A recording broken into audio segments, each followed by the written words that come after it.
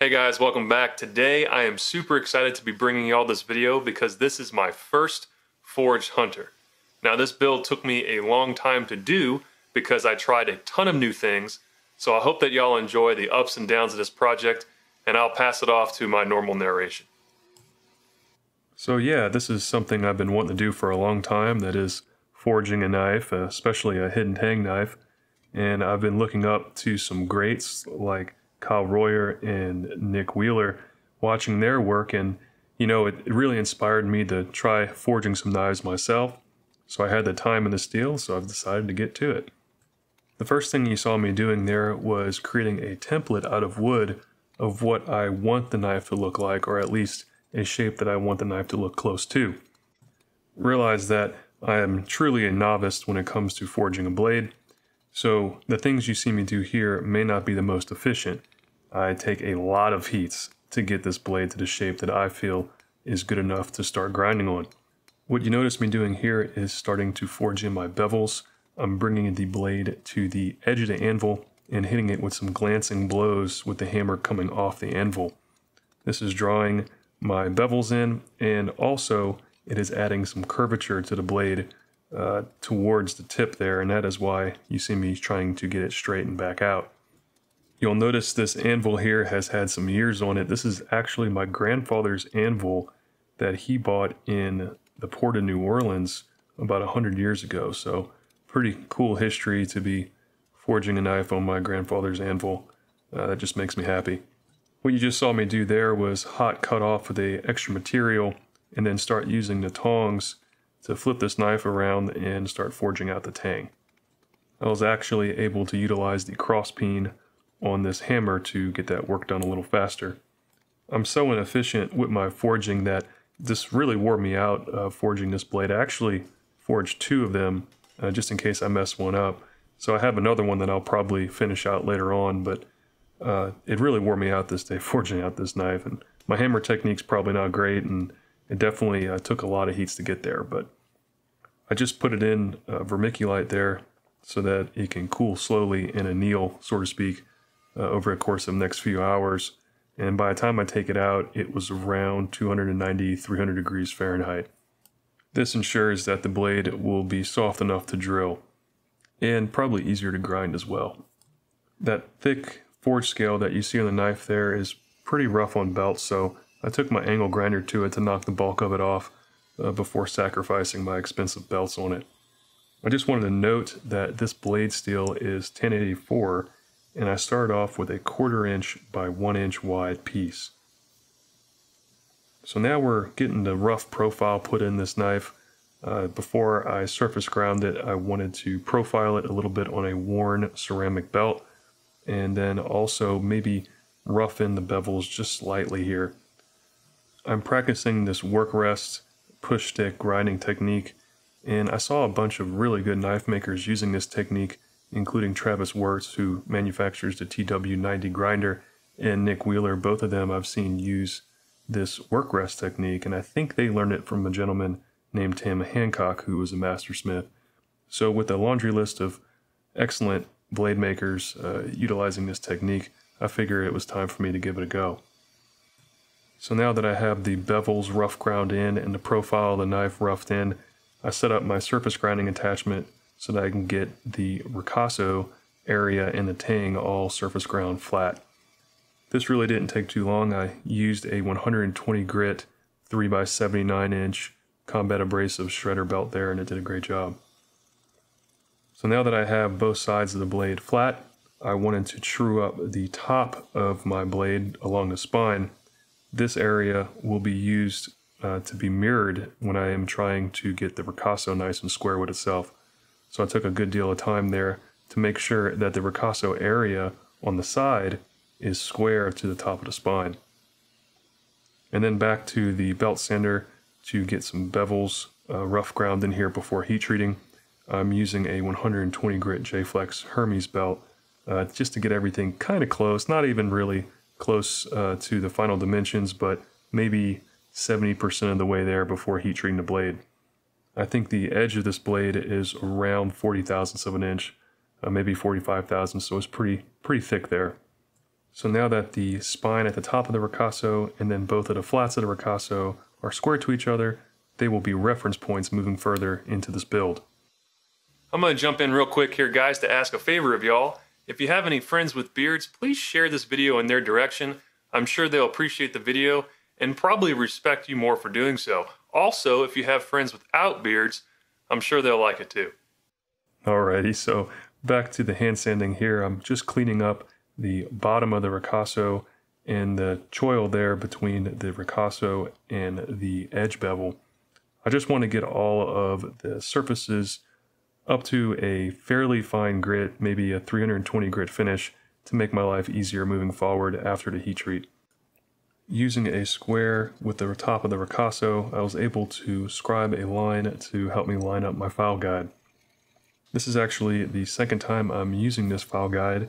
Uh, this is a DIY carbide insert file guide that I made recently, and if it works as it should, I'll be making a build video on this file guide. This carbide's pretty darn tough. The files didn't even get close to cutting into it, and then I eventually used my 2x72 belt sander and the belts on there didn't do anything to it either. Uh, both the ceramic belts and the normal aluminum oxide belts.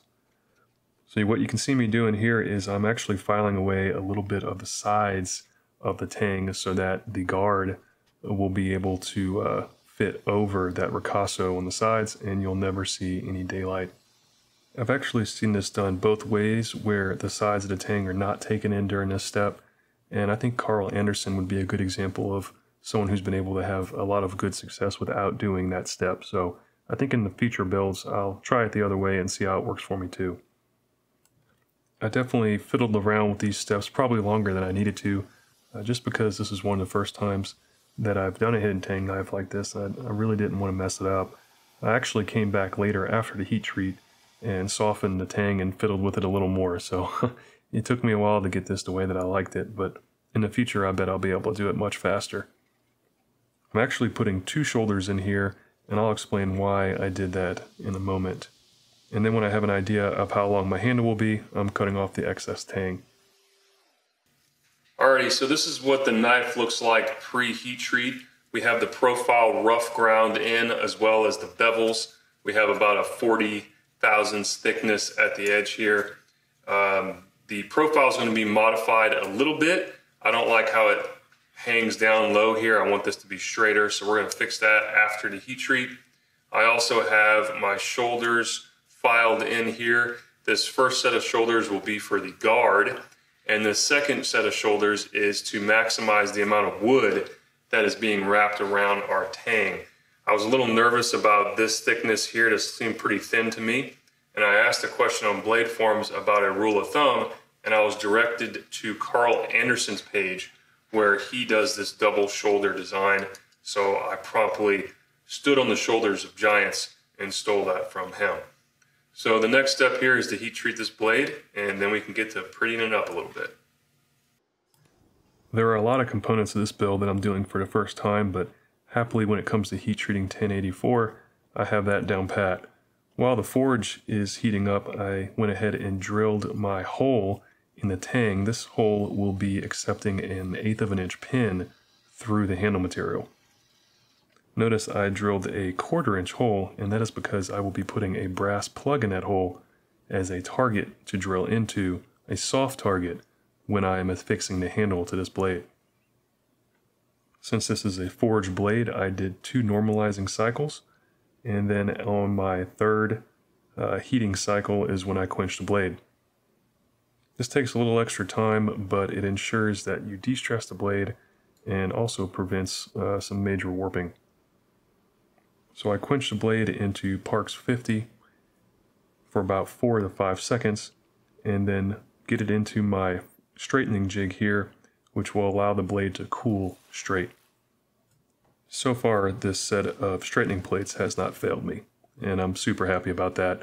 This blade came out nice and straight and it was also very hard, which I verified with a chainsaw file.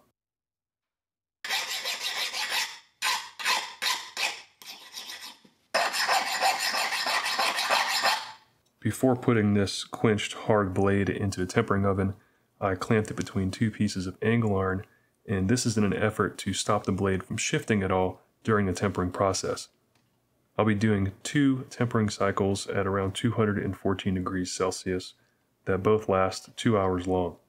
You can see there I ended up taking the top off of my PID controller. My garage was running at about 95 degrees and I felt like the PID controller needed a little help. So I put a fan on it and took the top off. Alrighty guys, so the heat treat was successful. The knife came out hard and straight. So our next steps is to clean this knife up a little bit on the belt sander and try to get the bevels ground in and get everything roughed out to around maybe 320 grit before moving on to the other operations. We'll take this opportunity now to clean up the area where the blade starts. If you remember, I mentioned it, I felt like that hung down a little too low and I wanted to straighten it out, so that's what we were doing there. And then we got the surface grinder attachment back out to get the flats of this blade around a 360 degree gator belt finish. I've been using this darn surface grinder more and more lately and I'm super happy I built this thing. Now that one side is done, I'm going to put a layer of masking tape over one side to protect it from the magnetic chuck. If you don't do this, uh, you'll get some scratches on that side when you try taking it off of this chuck. So we got one side done, get the other side done, and this is how they came out. This is around a, uh, actually I think it's more like a 220 grit gator belt finish there. Bringing the spine of the knife up to a 320 Rhynowet paper finish here. And then we'll also get the choil area at the bottom of the ricasso to the same finish. We'll get a little marking fluid along where our edge is going to be on this knife and then use this height scribe with a carbide tip scribe in it to mark off our center line.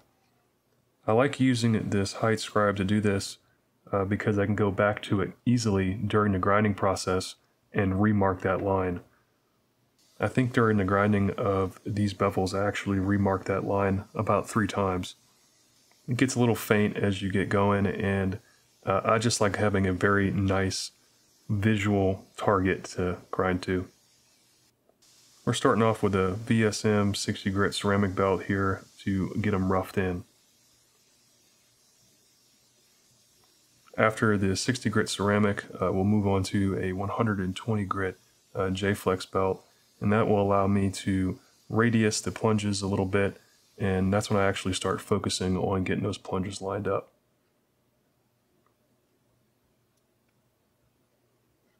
So like I said, we're remarking the edge here just to make that target nice and prominent.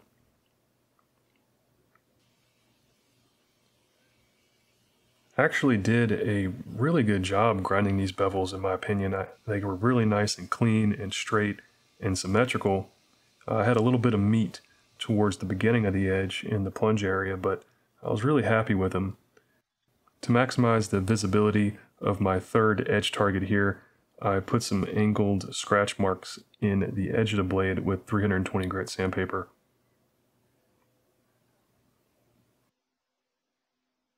And then I took a very close uh, visual look to kind of figure out where I needed to go for the rest of the bevels here. Where the thickest parts of the edge were and where the thinnest parts were.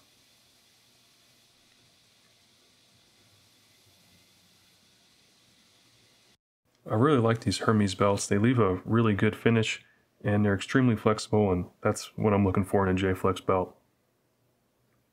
So now we're going to tape up the blade so as not to uh, damage it when I clamp it in the vise. And we're going to blue back the tang of the knife to soften the tang. I bring that color all the way in to the ricasso uh, just so I have the straw about halfway through the ricasso there. This will give it, uh, I think, a little bit of a spring temper in that area and just toughen up the knife in general. Softening up the tang also gave me the opportunity to fiddle around with these shoulders a little more I'm not saying this is necessary in any regard. It's just uh, I want to make sure they were dead on. I'm measuring here to make sure that the tang has a slight taper towards the end there, and it does. All right, guys, so the grinding and the bevels of this knife went really well. I was able to get them very lined up, very symmetrical, and I'm pretty proud of them. However, if you look really close and put a straight edge on them, they're not 100% straight on both sides. That's the plunge line on both sides of the knife. So I'm going to try out a method that I saw Kyle Royer use, which is to create a top platen on his grinder and attach a file guide on it to the knife to get both sides perfectly straight and perfectly symmetrical. So I'll either end with perfectly symmetrical plunges or I'll completely jack up this knife. So we're about to find out. So yeah, this is a new method for me for trying to get the plunge lines uh, perfectly in line with each other. To be honest, they were pretty darn good uh, starting off, so I don't really think this was a necessary step for this knife, but every once in a while I get them a little off-centered. I want to try something new. There's a lot of friction on this setup going over the top of this platen across that edge. I put a slight radius on the front edge of this jig, and that radius will be matched on both sides of my plunges. When setting up your file guide on your plunges, this is actually a little too close. You want that file guide off of the plunges a little bit to give that radius at the top of your top platen a little bit of space. I ended up changing this and I'm not sure if I showed it on video or not. Also, it's worth noting I stood off to the side of this system because I was slightly leery of it and uh, I think you should be leery of a top platen system like this. The last thing you would want to happen would be for the belt to grab the tip of this blade and throw the whole thing. Now, I don't feel like I even got close to this happening to me. It never felt grabby, but it's just something to be cautious about. I would definitely not use a cork belt or a surface conditioning belt in this orientation because those things are extremely grabby. So, slow belt speed and very low pressure to do this operation. This actually took a really long time but I think the results were fairly good. It's going to take a little practice with this uh, setup and using the file guide and whatnot, but I think the plunges came out pretty good in this case. You'll notice that I have a little bit of meat there in that uh, spot, so I actually grind back the ricasso a little bit longer to uh, get the edge at the beginning of the plunges a little thinner. So that was kind of my workaround there, and you'll see me, actually you won't see me do this because I put this light right in the way of the camera by accident. So that's what it looks like after doing that. Uh, and it, like I said, it came out pretty good. Very, uh, very symmetrical plunges there, and I think I will mess around with that uh, contraption again in the future for sure. Now that we have our plunges dialed in, we'll go over to the knife vise and start hand sanding. I'm going to be bringing up this entire blade to a 320 grit hand sanded finish. I have a pro tip for you guys when hand sanding. If you ever feel like you are finished, just think that Nick Wheeler is standing over your shoulder looking at your work, and you'll hand sand for about another hour for sure every time. I used a hard backer for the majority of this hand sanding, and then my finishing strokes are using a soft rubber backer just to kind of keep everything nice and smooth on my final strokes. Then using another hard backer I took a 320 grit piece of sandpaper and cleaned up the bottom of the ricasso. This area will obviously be very difficult to get to after the guard is fitted and the handle is on the knife. So I'll be using a quarter inch piece of stainless steel for my guard. I think I probably could have gone with a slightly thicker piece of stainless, but this is the piece I ordered and it turned out looking pretty good. I cut a one and a half by one and a half square, which after thinking about it now uh, is way too big. I didn't need to cut off that large piece. You may have also noticed that I used a handsaw to cut off that stainless. It's because the blades of my bandsaw were dull and I didn't have any replacements. So using some 123 blocks, I set up a very rudimentary uh, fence here so that I can get all the sides nice and square with each other. This is kind of a preliminary step because I will be milling these sides flat. And then surface grinding attachment comes in handy again to get both sides nice and flat with each other. This first pass I made with a very dull uh, half inch end mill and then the second pass I made with a new end mill and the difference is night and day. I got a way better finish on the second pass. So now I have a nice square flat piece of guard material here. So we're going to mark off the center line of this guard material, and then we're going to do a little bit of math to figure out uh, the slot size and mark that off as well with these calipers. I'm measuring the width of the tang, and then the width of my ricasso is actually a little wider. So to make it easy on myself, I'm going to use an eighth of an inch end mill. To mark off where my slot will be on the guard material, we'll take the total width of the piece minus the eighth of an inch end mill and then divide that by 2 to get our y value, set our calipers to that value, and then uh, scribe the sidelines of our slot. And then we can do the same thing for the top and the bottom side of our slot there. I'm using an eighth of an inch spotting bit here to make sure that my vise is nice and in line, and then I am at the center line of this piece. I'll then change out the drill chuck with a eighth of an inch end mill inside of an R8 taper. And like an idiot, I did not clamp down the piece and I kind of ruined the surface finish there, which I'll go back and finish with the surface grinder later and clean that up, but I was pretty pissed at myself for doing that. Once I get to one side of the slot, I will set these uh, stops on my mill so that I know uh, where the top and the bottom of that slot is. You also saw me use a plunge cutting technique that I picked up from Karl Andersen. And if you guys have any other recommendations on how to do this, I'm all ears. All the machinist guys who are out there, I'd love to hear your technique. This worked pretty good. I'm just open to uh, a bunch of different techniques here because I want to try a few new things. But like I said, Karl Andersen's uh, technique here was excellent. It got the job done. It just took a little bit of time, and my mill uh, isn't really set up very well for plunge cutting with that very weak torsion arm. I need to upgrade it to an air system eventually. So in short order on the surface grinding attachment, I was able to uh, erase our mishap on the vise there, get the surfaces nice and flat again, and then I marked off the inside top of the guard just so I can keep the orientation uh, the same whenever I'm trying to fit it. I'm actually making a tool here. This is a, a piece of 1084 and I'm going to be using it as the uh, backing plate to the guard so that I can hammer on this and not worry about messing up the finish of the guard. And also I can apply the pressure of my hammering to the whole guard face. So I heat treated it and then I tempered it to straw uh, so that it's nice and uh, hard but soft, like soft enough to be able to take hammer blows. To protect the blade during the guard fitting, I wrapped it in some magazine paper that's been coated with lubricant.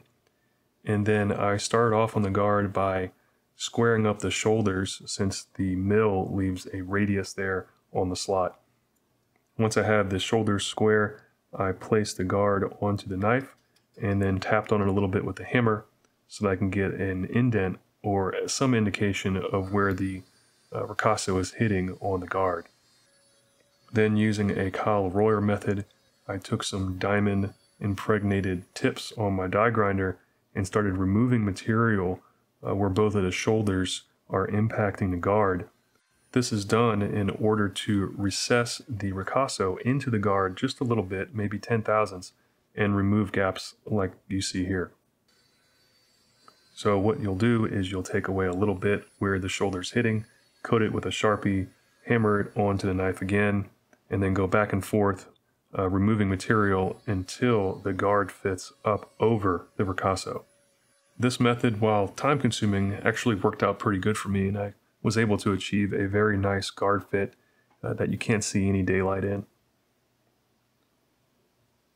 So I'll definitely do it again. I think I'll be able to do it faster the next time around, but you just got to be really careful when you're sitting there with the Dremel tool. It wants to walk on you every once in a while, and you can really mess up your guard. In this step, we are peening a brass plug into the tang. I'm doing this so as to have a target whenever we drill the pin through our handle material.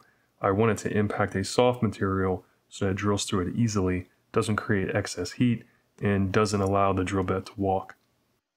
So with a Sharpie, I lined up uh, where my maker's mark should go based on the shoulders of the tang. And then I etched in with DC power uh, about 12 or 13 times with my etching machine to get a nice deep etch. After I have a nice deep etch, I'm trying out this brass black, another Kyle Royer trick. We're going to brass black our maker's mark so that the valleys of our mark are nice and dark. So once your mark is etched, you just put a little bit of this brass black over it. It gets into the valleys there, makes them nice and dark, and then you clean it up with a little sandpaper afterwards. So that worked out really good. I think in the future I may be able to do this one or two times and make it even darker, but I was pretty happy with the results this time around. I'm going to be using a piece of purple heart for the handle. To get an idea of the excess that I can cut off, I cut out my drawing of the handle, and I also marked off where my tang is going to be, and this is going to help me down the road uh, get an idea of where to drill. Using an eighth of an inch drill bit, I drill three holes in the face of the handle so that I can start making a slot. I can't do this on my mini mill since there's not enough uh, space, not enough throw between the chuck and the table. So the WEN drill press, the cheapo drill press is coming through in the clutch. Once I get the holes drilled, I will use the drill bit to connect those holes together. I actually ended up enlarging these holes to a number 12 bit size. Once I got these holes preliminarily drilled, I was able to use my new handle broach to square up the slot and also remove the additional material needed to get a nice fit on my tang. We're squaring up the work rest here so that I can grind my guard to shape. I used a template to try to get both sides of the guard symmetrical, and you can see my scribed lines there. But with the amount of grinding I ended up doing on the handle down the road, it made this part unnecessary. Using the radius of the wheel, I started my uh, curvature at the bottom of the guard. This is going to be in the finger choil. I think this is a one inch wheel with a 60 grit ceramic belt there.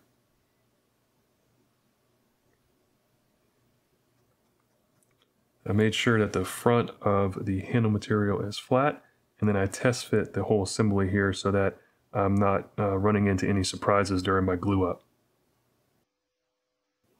So like all glue ups, the first step is to make sure all of your surfaces are clean. I'm using alcohol for this function. You don't want any oils uh, to affect the adhesion of the epoxy. I put a little bit of epoxy on the tang and then slide the guard on. Then I have a G10 spacer that I'll be putting on in between the guard and the handle material. I did this just because I thought it would look cool. Uh, no other reason there. And then I poured the rest of my epoxy into the handle slot and then forced that tang in there slowly to make sure that any air bubbles come out. Then using a clamp and a piece of wood, I uh, get this thing straight and clamped up. Had a little bit of excess epoxy in the front of the guard after sliding it on the tang that already had epoxy on it, so I cleaned that up and then left this overnight to dry. So today we're going to be taking this block of wood and turning it into a handle. Now I don't have a ton of experience with creative bottle shape handles, so I'm going to give that a go today. I've done it one other time and that was with my handle broach uh, just for practice. So I'm going to try some nice fancy grinding on this handle. Also, I don't really like the way my guard is currently shaped. So I'm gonna see if I can correct that on the grinder uh, so it looks a little bit more natural. I'm still trying to get a good idea of how these hunters are designed from the handle side and what proportions look good. And I'm sure this one won't be 100% right, but as I go, I hope to refine uh, what my hunters look like. So let's get started with the grinding. So before we start grinding, I use that spotting drill again to spot where my hole will be for the pin and then I drill an eighth of an inch hole into my handle through the brass plug that's in my tang. You can see there I started getting some brass back, which makes me happy. It means that I definitely contacted that plug. You can also see that my eighth of an inch drill bit has a little bit of run out on it. So one side of the knife, the hole is just ever so slightly larger than the other. And I compensate for that later on by tapering that stainless steel pin that I put into that hole so that it has a nice tight fit on both sides of the handle. Once that drilling operation is done, I go to a 60 grit ceramic belt and start shaping this handle. I take down the front towards the guard first to get the tapers there, and then I move on to my 2 inch contact wheel to start bringing in the curves on the side of the handle. When I was doing the finger choil area in the front of the knife, I actually went deeper than I planned to. You can see that right here.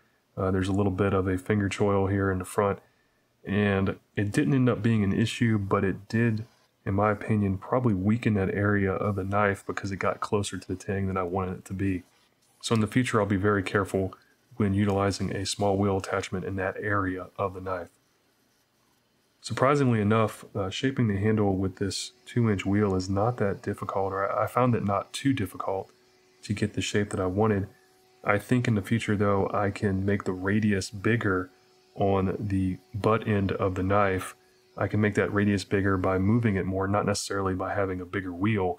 But in my case, I feel like that radius was just ever so slightly too small, and I think I can improve that on my next Coke bottle handle. After getting the bulk of the handle shaping done, I figured it's time to put this pin in. Uh, this is that slightly tapered pin, stainless steel pin that will get epoxied into our handle here. Once I gave it some time to dry, which in this case was actually overnight, I cleaned up the ends of that pin on the belt sander and then finished off cleaning them up with some hand sanding. To make sure that those pins are not domed, I use a piece of hard backing, which is actually a little piece of metal here, behind my sandpaper so that it stays nice and flat and there's no doming on that pin. I also made sure to use a hard backing for my sandpaper in the transition between the guard and the handle material because I don't want a little dip there from the sandpaper eating away the handle material faster than the guard. So this took a very good deal of time here because I wanted to make sure that my scratches were all going in the same direction on the guard and I wanted to bring the handle up to around a thousand grit finish. My progression on the grits started at a 320 grit sandpaper. I moved to a 600 after that, and then finally a 1000 grit paper. On the 1000 grit paper, I started using my hands and fingers more than the hard backings, and I wasn't really taking away that material, so I didn't see any problems with doing so. I make sure I put a good coating of uh, lubricant on the blade just so I don't have any problems rusting because I'll be using a water cooled sharpener to put the edge on. This WEN sharpener has been working out pretty good for me. The only issues I've ever had with it are on blades that don't have a sharpening choil and the plunges are at the beginning of the edge. In this case, that's not an issue since the uh, the edge actually hangs lower than ricasso, so it's actually a very convenient sharpener for this style of knife. It's funny, after doing the review on this sharpening system, people ask me about this thing all the time, and all I tell them is, yeah, I'm still using it. The machine's still working, and it still puts an edge on a knife pretty quick. So, uh, so far, no complaints there. So, as far as my first forged Hidden Tang Hunter goes, I feel like things turned out pretty good, or at least they did in my opinion. There are, however, some flaws in this knife, or things that I feel like are flaws, and I'm going to point them out here. First of all, I feel like the handle is a little thicker than I would like when looking at the knife from above. In the future, I plan on making it a little sleeker in its design and also making the radiuses of the Coke bottle handle slightly larger than I did. As far as the guard fit up goes, I feel like the fit up is pretty good. When looking across the knife with a light source behind, you will not see any gaps in that guard because it is recessed over the ricasso. There is one issue with the guard fit, and it is that I milled the slot just a little too wide in relation to the thickness of the ricasso.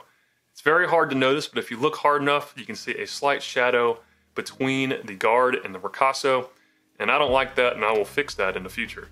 Lastly, I feel like the ratio between the length of the ricasso and the width of the blade is slightly off, and this is something else that I'll have to work on in the future. In the case of this knife, I feel like the ricasso is just a little bit too long. So I hope you guys enjoyed watching this build as much as I did building it. If you like this video, please hit that like button down below and consider subscribing to the channel. Until the next time, I'll catch y'all on the flip side.